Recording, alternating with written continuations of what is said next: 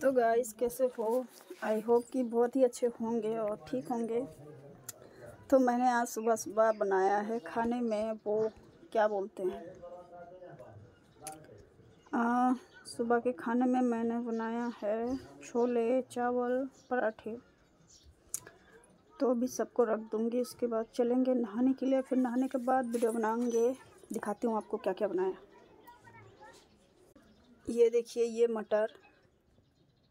Sorry, मटर नहीं, मूँगफली के दाने मैंने भुने, इसको खाएँगे। और ये छोले गर्मा गर्म छोले, आधा ठंडे हो गए, कब से खोल के रखा है, पर कोई बात नहीं। इसको बाहर निकाल के रखना है। तो ये छोले कैसे दिख रहे हैं? चमकदार। और ये देखिए, ये पराठे। और इसके नीचे है ये फ्रेश फ्रेश चावल।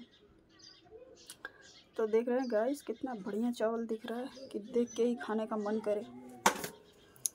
तो जिसको भी ये छोले, चावल, बाकी की सब चीज़ें खानी हैं प्लीज़ आ जाए। और कैसा दिख रहा है? फ्रेश फ्रेश देख रहे हैं। इसमें मैंने डाला है हरा धनिया, जीरा और मटर, घी, सब डाला। नमक भी डाला थोड़ा। और ये छोले कितने बढ़िया दिखते हैं। ये मूँगफली के दाने और ये पराठे। तो गाइस अब इन सबको मैं अच्छे से रख दूँगी। अच्छे से निकाल के रख दूँ। तो देख रहे हैं सॉरी गाइस सुबह सुबह मैं कैसी लग रही हूँ, चुड़ैल जैसी। और वो इसीलिए लग रही हूँ क्योंकि मैं अभी सो के उठी हूँ और मुँह हाथ धुला, ब्रश किया और खाना बना रही हूँ, अभी नहाया नहीं है। तो अभी थोड़ी देर में नहाएँगे, अभी चल रहे हैं। ये खाना बस रख दूँ अच्छे से। नहीं तो दिक्कत हो जाएगी। सब गिरता पड़ता रहता है, सही मुझसे